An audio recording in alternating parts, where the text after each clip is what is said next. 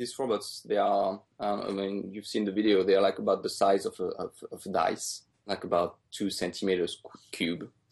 And they have little wheels. And then they have uh, four sensors around their body that allow them to just avoid obstacles. So if, if they run into an obstacle, they will detect the obstacle and then just move away from it.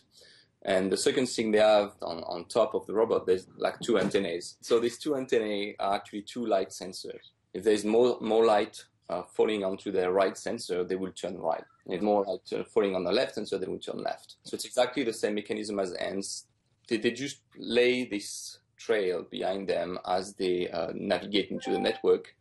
So mainly these robots here, their only task is to find the shortest way between between their starting point and whatever target you're looking for into the network. So what is the fastest way to go from uh, point A to point B? By themselves, this robot, they would just move around and they would get lost. Then they might reach point B from point A, but just by chance. But by working together and allowing them to communicate through this, this like light trail that you see in the videos, the robots will prefer to go where other robots have been before the, the whole is bigger than the sum of the parts. So you take all the, the parts together and they do their own little behavior in their own little corner.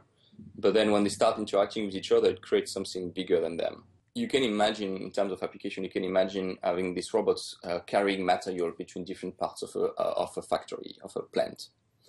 And you need to make sure you optimize, I mean, the path they take so the material goes uh, faster from point A to point B.